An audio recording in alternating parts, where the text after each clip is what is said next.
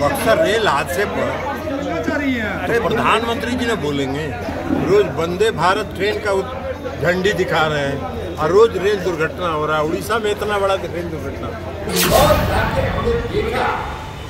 कि वहाँ पिछले चार वर्षों से पूरे देश में सफ़ाई में सर्वोच्च पुरस्कार प्राप्त हो रहा है और जब दो हज़ार नौ हमको डेंगू हुआ था तो उन्नीस हज़ार हमारा प्लेटलेट था हम ट्रेन से के लौट के गए थे एक बजे रात में डेंगू किसी प्रशासन को और किसी जिला प्रशासन ने बक्सर रोड नहीं अभी तो बक्सर बक्सर रेल हादसे पर अरे, प्रधानमंत्री जी ने बोलेंगे, रोज वंदे भारत ट्रेन का झंडी दिखा रहे हैं, और रोज रेल दुर्घटना हो रहा है। उड़ीसा में इतना बड़ा रेल दुर्घटना, कुछ नहीं हुआ। तो ये लोग अपने, अपनी प्रशंसा में लगे हुए हैं। अब अपनी प्रशंसा में लगे हुए हैं। जब उस पर उसको निजीकरण के हवाले कर रहे हैं, सब कुछ निजीकरण तो क्या होगा? ये सब होगा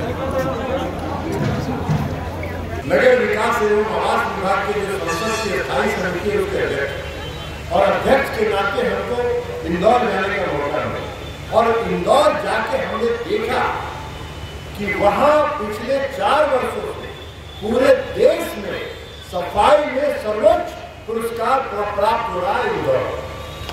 हमने ये देखा कि वो व्यवस्था भी वहाँ कचरा प्रबंधन का, वहाँ कचरा घर से उठा के उसको रिसाइकलिंग करके, गैस निर्माण करा के, उससे उसका आंतरिक संसाधन विकसित किया गया है।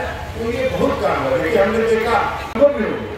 और आज ही नहीं हुआ, दो हज़ार नौ में नहीं हुआ और जब दो हज़ार नौ में हमको डेंगू हुआ था तो उन्नीस हज़ार हमारा प्लेटलेट था। हम ट्रेन से के लौट के गए थे एक बजे रात में डेंगू किसी प्रशासन को और किसी जिला प्रशासन ने बक्सर रोड नहीं डेंगू का मच्छर जो है, वो सिर्फ़ नालों में पैदा नहीं होता है। डेंगू का मच्छर साफ़ पानी में पैदा होता है। उसका जो ब्रीडिंग होता है, वो साफ़ पानी में होता है। और साफ़ पानी में आपको भी अगर डेंगू से बचाव करना है तो हम मुंगेर वासियों को कहें कि आपके घर के अंदर जितने गमला हैं जितना कूलर उस कूलर से पानी रोज गिराइए और रोज पानी उसमें डालिए। क्योंकि वो वही होगा, वही उसका मच्छर होता है और रात में नहीं करता है। वो रात में नहीं करता है, वो दिन में करता है।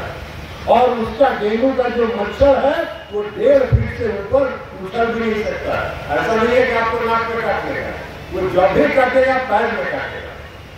वो डेढ़ फीट से ज़्यादा ऊपर जा ही नहीं सकता। इसलिए डेंगू की रोकथाम में आप सबों का भी सहयोग करें। और नगर निगम प्रशासन से ये कहेंगे कि जहाँ इस तरह का साफ़ पानी है, वहाँ ज़रूर आप